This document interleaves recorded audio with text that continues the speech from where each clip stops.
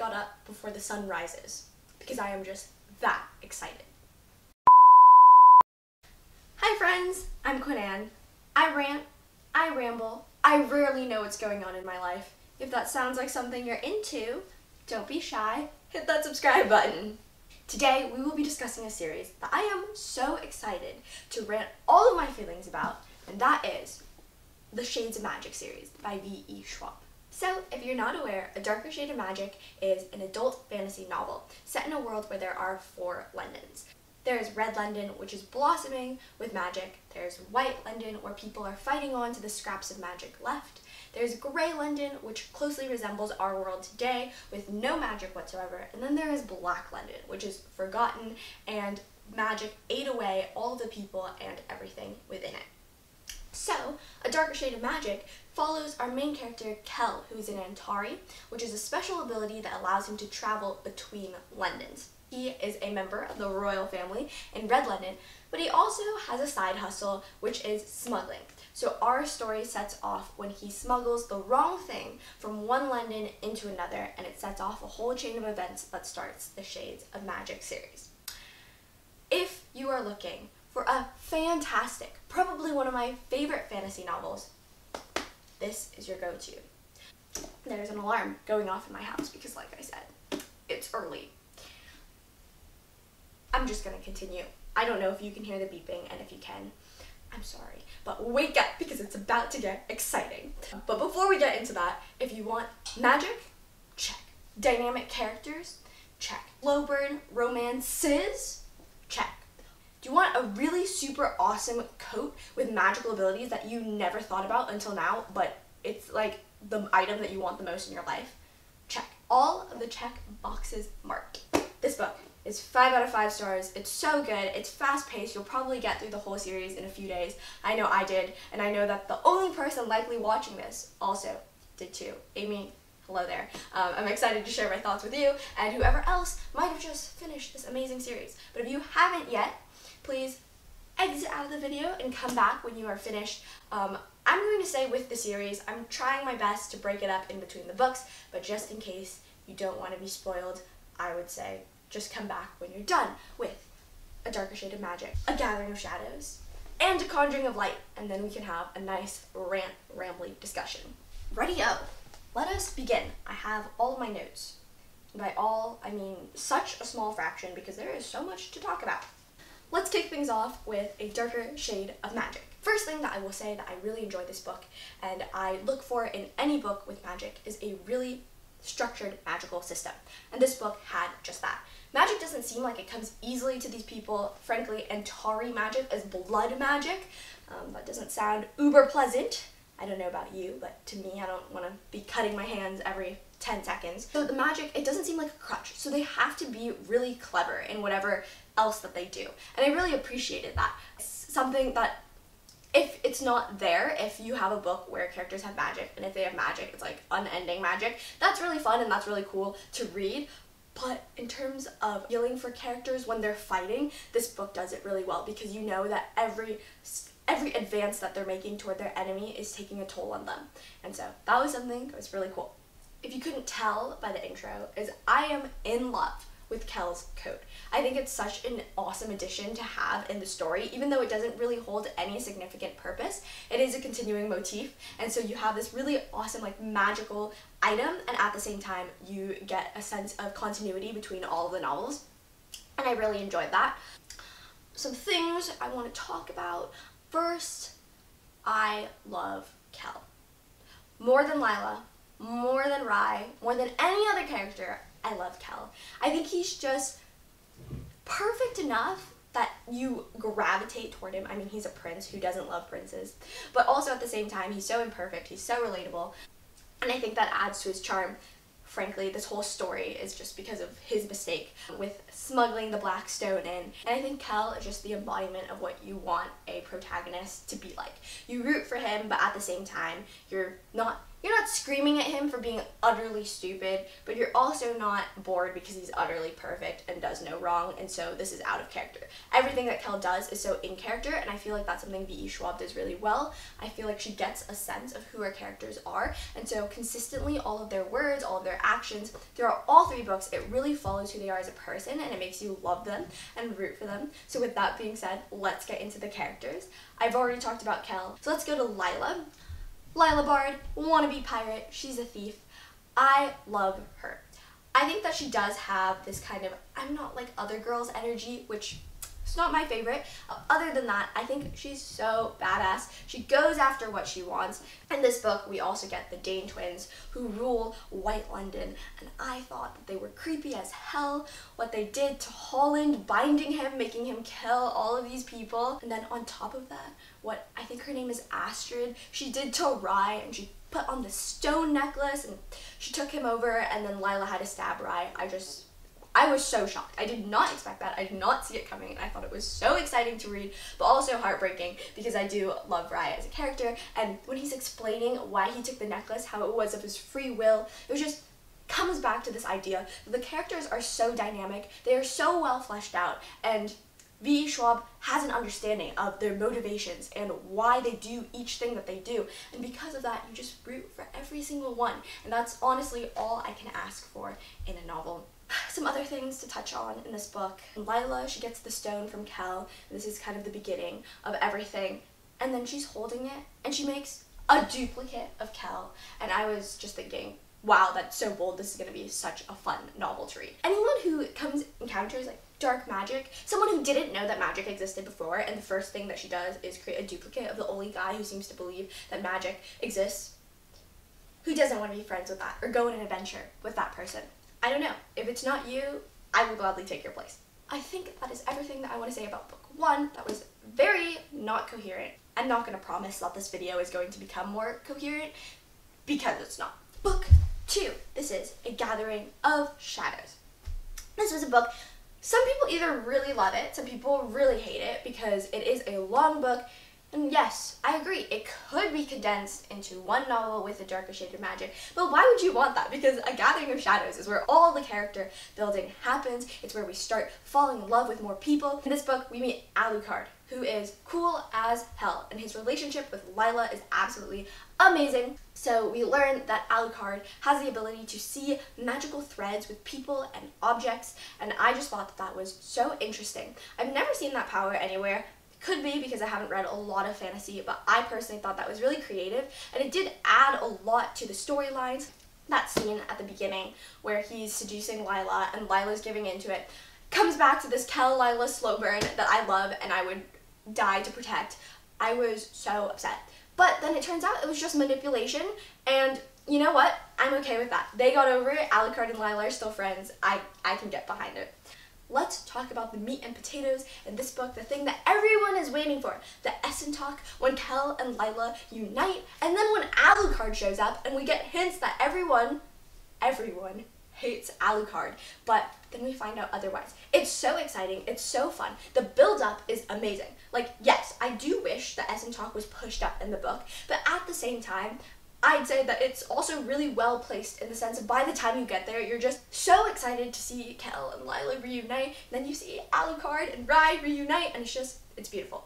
So we go through, we go through the Essen Tasch, and we see Lila starting to come into her powers, and we see Alucard is really just a magical storm. Then we get to that one fight between Kamerov and Stasion, or the other guy, the dude that Lila's pretending to be that I can't frankly remember the name of. Earlier in the book, we see Lila watching Kamerov fight, and she goes, hmm, that's definitely Kell. We see Kell standing at the balcony, and he's talking, he's talking, he sees someone who vaguely resembles Lila, and then from her point of view, we see her see Kell, and then we find out it's not Kell. So it's just all these near misses, and the slow burn romance is just it's too much. It's so much to handle uh, because these are characters, like I stated before, I absolutely love. So of course I want them together. But in that fight scene between Kamerov and Stasion, when Kell realizes that it's Lila, and then Lila like takes his own magic, I think it's fire at the time, and uses it against him. So we get this really natural loss from Kell because one, he's he's protecting Lila, but also at the same time, he's caught off guard. Like, I would say that Lila won that fight pretty fair and square, and it's exactly what Kell needed. Like, he couldn't win another fight because then his mask would have to be unveiled, and it was just such a creative way to solve an issue, and props to V. Everything in this book is just creative ways to solve issues. I never felt like, oh, there's a cop out, and that was something that made reading the series really, really enjoyable. Let's briefly touch on a few characters and character dynamics. I did not like Rhy as much in this book. I know that's a bit of an unpopular opinion, but I love Kell, and it seems like Rhy is making Kell's life really difficult with the constant drinking, the going out. I understand where he's coming from. I really like Rhy.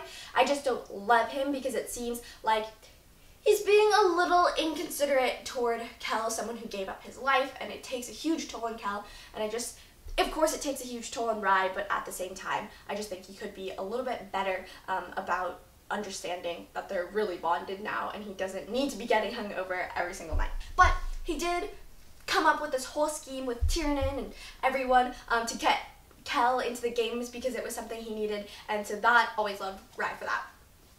So going into Tieren, I think that he is the best mentor ever. He obviously is housing some secrets for both Rhy and Kell and then he houses Lila's secret. He's just so calm and he's so he's just calm and he's everything that you like expect a master to be but at the same time i do feel like he's a kid at heart and he just resonates with these little kids that he's taught growing up so much and he's never putting them in danger, but he also lets them get away with a healthy dose of fun, and he's just a wonderful character. Calla, as a side character, I loved her. I loved that she shipped Kell and Lila almost as much as I did, um, and I really particularly enjoyed that scene where Lila comes in and she's like, oh, every week Master Kell uh, comes checking to see if you've paid your debt. And Lila's like, mm, that's rude. And so she goes, no, no, no. He's checking to see if you've come back. And then five minutes later, Kell does come back. I thought that was such a treasure of a scene that about wraps it up for book two, I'm pretty sure. That's where I am. I have a couple other thoughts, but this video is already getting uber long. So, moving on to book three. We see Holland our homeboy, get possessed again. I feel really bad for him. He's just constantly, his life is never his own, and I think that that's something that makes book three so interesting because he's finally free, or at least as free as he has been in the past 20 or so years when he's with our beloved main characters and they kind of squad up. And so I really like seeing that development through Holland, and book three is really where I, he started to grow on me. One thing that I really liked in this book is the idea that not one person can save them. I feel like this is a very common trope in novels where you have a chosen one, you have a hero, someone has to sacrifice themselves for the good of humanity. And this novel didn't really have that. The whole story was them figuring out how do we combine our powers? How do we be strong enough to beat Osaron? Know that most likely one of our characters is not going to die. But at the same time, it makes it harder because do we really trust Holland? Do Kell and Lila trust Holland enough? Um, and then at the same time, like Lila just learned how to use magic. How do you work all of this together to create an actual sustainable solution? And so we get the Antari rings and we get all this stuff, uh, but there's a lot of trust that has to be built there, and it allows for the story to be somewhat character driven, um, although it is a fantasy and it has a very great plot. Another part of the solution that I thought was super cool is putting everyone to sleep. It seems like the reasonable conclusion to jump from one to another if your power source is the people, you don't want to get rid of the people. And so the best that you can do is put them to sleep, unconscious, then Osaron can't take their power. But one thing that I do wonder is how much of this is Osaron needs a power source, how do we get rid of that power source, versus V. Schwab intentionally making this decision to take all of these people who are infected out of the equation. And so therefore we no longer have to deal with them, but we're no we're not left questioning, oh, whatever happened to these rampant people. And so I thought it was such a smart move. Magical ship. Another element of magic that is just so cool to me. They have all of these magical items, and we see Alucard, Kell, and Lila all be really, really in love with all these items. We have Maris, who is the leader of the ship, and she's like ancient, but somehow she's still agile. And we find out that she's taking years of life from people. Thought that was really cool. I loved how she knew Alucard, then she knew Kell, and she offered him the slip of paper, and then she offered Lila the black eye. I think Maris is kind of She's cold, yes, but also at the same time, can we really say she's not rooting for our characters? And then we have Holland with the Antari rings, and they're all testing it out, and Kell's like on the floor, almost dying because Lila's taking all of his power. not intentionally. And then he feels this rush of power, and it's Holland. And it's just, I feel like that is when we really knew that these three characters could do it. Yes, they have the means, they have the Antari rings, but also at the same time, Holland is not a terrible person, and he's not out there trying to kill Kell or Lila. And so that was a wonderful moment that I really, really enjoyed. A few chapters before that, because I forgot, um, another Holland moment. Lila, she goes to follow Alucard out of the pub. We have a little Kell jealousy, and I I don't know. I like that. But um, yeah, so she follows Alucard at the pub. She's attacked by the copper thieves, and it's Holland that finds her. It is Holland that rescues her. And then they have this really dramatic conversation where she still hates him, but she's now indebted to him. He really asks her, at least I remember the amount of people that I've killed. Do you know the number? And she doesn't. And I think that was such a wonderful insight into Holland's character, and it's really what made me root for him. He has not been in control of his actions for the past 20 years, but the actions that he did make really intentionally, he knows about, and he really cares and thinks deeply about. And so I really love that insight into Holland.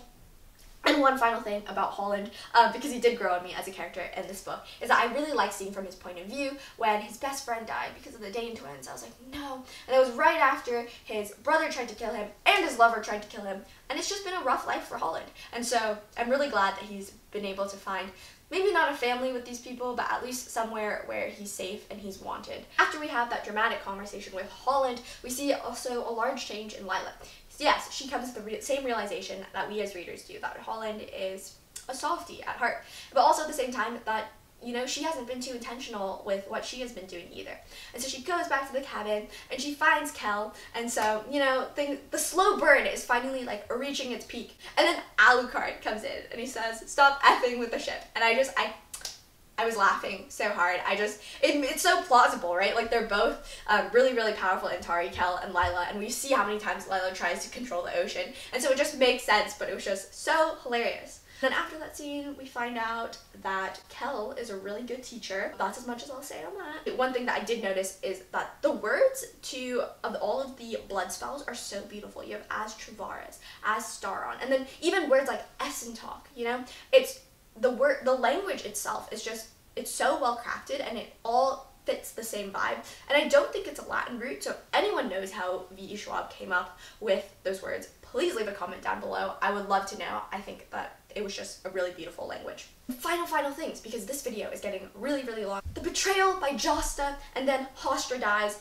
heartbroken. I didn't see it coming. I I had no idea. I really, I believed in Jasta. I thought she believed in the cause, and it was just really sad when she betrayed them. The betrayal by the Vesks. Again, I wasn't, like, why did I take everything at face value? I don't know. I read these books, like, in two or three days, and so I didn't pick up on the subtleties, but you know, we're being told that the Faroans are the ones planning an attack, and so we see the Veskans, and the Veskans are really nice. They bring their bird, they have the nice daughter, the daughter really likes Kell, and then she really likes Rhy. Um, that was a bit weird, but overall, I thought that they were friendly, and then we see them betray um, each other, and I just, that broke my heart just a little bit. I loved that King Maresh was able to withstand the poison and he did his magic thing. I think he really redeemed himself in that sense.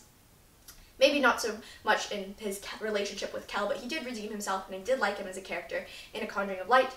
And then we see the brother, um, the Veskan brother, try to kill the queen. And so, one thing that I will say I really appreciated about this scene, not because I wanted her to die, but I did like that the queen died. Because we have Rhy stepping in there in the middle, and he can't die. And so the prince is so shocked. And then he pulls a knife away, and despite Rhy's best efforts, the queen still died. I thought that it was a great way to show that, again, people are not immortal. There is no super powerful, all natural being. Like, Rhy comes close to that, but there are still things that he can't protect. And I really, really appreciated that distinction that V. Schwab put in there. Finally, so we wrap this up with Holland. He goes back to White London. Holland's loyalty to White London, it shows throughout all three books, and he just wants to make it a better place. And so I cannot say that by the end of the novel, I wasn't rooting for him. I loved him. I thought it was a beautiful ending for him, and I actually thought it was so appropriate that he went back to White London and he didn't stay in Red London. Um, because in the end, these people never became his family. They were people maybe he could trust or rely on to some degree, but they weren't his family or his home, which is what White London was to him. And so finally, we have Lila and Kell going off on their ship. Alucard is staying with Rhy. Oh, another romance that I loved. And then we see Kell and Rhy say goodbye. Then we see Kell get to become free and go with Lila. He wants to see everything, and there's just like the repeat of the quote. Very beautiful ending. And so yeah, those are all of well, those are a fraction of my thoughts told to you in a really rambly way. I would love to hear your thoughts about any of these scenes, anything that I didn't bring up, so please leave a comment down below, DM me, shout into the void, anything. I will try my best to respond. If you've made it all the way here to the end of the video, thank you so much for being here, and given the topic of this video, I feel like there's only one thing that I can say to end this video. Anoshe, thank you for watching.